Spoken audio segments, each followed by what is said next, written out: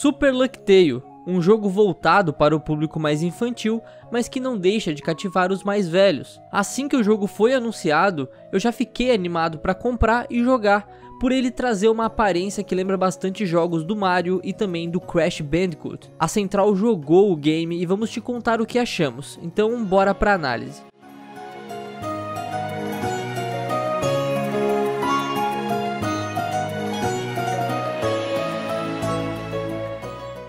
Super Luck Tale você controla Luck, uma raposinha muito fofinha que quer se tornar um herói.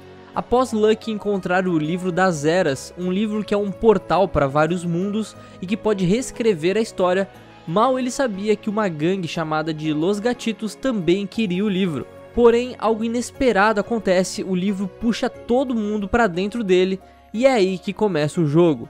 Luck precisa salvar o mundo das mãos desses vilões, atravessando os mundos do livro. A história é bem simples, o grande foco do jogo é a gameplay. Os controles do game são bem simples, você dá pulos duplos, pode atacar com o seu rabo, ou você pode entrar debaixo da terra para coletar moedas. No game você vai encontrar vários tipos de minigames e fases. Existem fases no modo plataforma 3D, Outros momentos você vai se deparar com plataformas 2D. Existe também dois tipos de minigames, um que você precisa solucionar o quebra-cabeça e colocar as peças nos locais corretos, e outro é que você precisa coletar moedas em uma plataforma nada estável. A variedade que o game traz é bem interessante, assim como os objetivos dele. Dentro de cada fase, você precisa coletar algumas coisas e cumprir algumas missões. Assim, no final, você receberá trevos de quatro folhas, que é o item essencial para você avançar na história do jogo e poder lutar contra os chefes. São quatro desafios, coletar todas as letras da palavra Luck, coletar 300 moedas,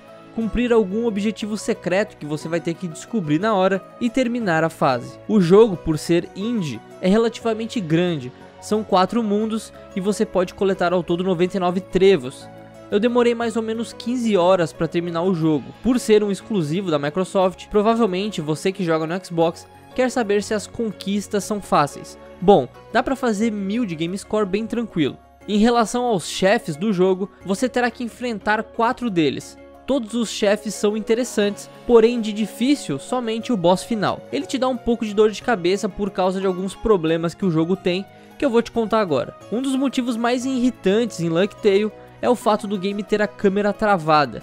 Você tem controle limitado para mexer ela, atrapalhando muito na hora de pular na cabeça de um inimigo ou pular em uma plataforma 3D. Perdi a conta de vezes que morri no jogo caindo em um lugar que eu achava estar em cima. Eu não entendi até agora por que, que eles limitaram a câmera, eu gostaria muito de ter uma visão aérea. Em alguns momentos, por exemplo, você tem que andar para trás e a câmera não gira. Isso é muito péssimo no jogo. E por esse motivo, o jogo que relativamente é fácil se torna difícil em alguns momentos. Por exemplo, no boss final que você precisa desviar de muitas coisas e acaba morrendo muito. Outra coisa super irritante no jogo é que Luck parece ter sabão no pé.